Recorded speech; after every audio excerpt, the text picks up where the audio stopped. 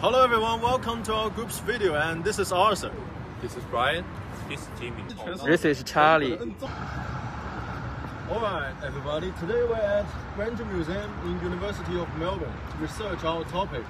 Uh, the famous pianist Percy Grainger and his beautiful wife Alice Sloane captured in art, who went to Melbourne to start supervise the museum building work in 1933. Let's see what we're gonna find out.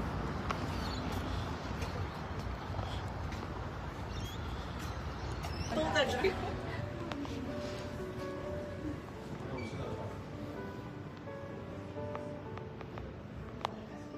you can see, the man in this painting is Percy Grainger. He was born in 8th of July 1882. Um, this painting was painted in um, 1904. It captured Percy Grainger uh, in his 20s.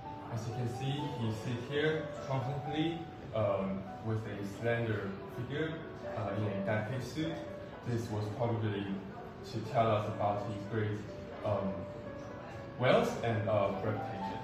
And, uh, and you can see what's more, more, what's more there is a uh, piece of stave held with his hand, uh, uh, which can um, tell us about his um, identity uh, as he is a composer.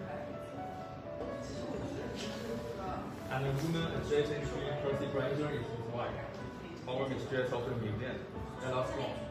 She was a Swedish artist, poet, and musician. She born in 1889 in Stockholm. She and Percy developed, developed, developed a close friendship after Percy returned to America in November 1926. The couple were married on 9 August 1982 at the Hollywood Bowl at the end of her pursuit, which in honor of the bridge uh, has included the first performance of Brange's radio song, The Nordic Princess. So she has a blonde hair with a beautiful headband, and she also wears blue dress. Housing the Lexus. According to the Museum of the Mixed this painting was created shortly after their marriage.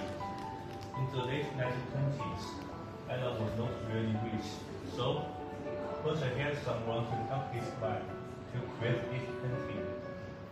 And therefore, it is not difficult for us to find out that the person's rich family background, social status, and the overall identity.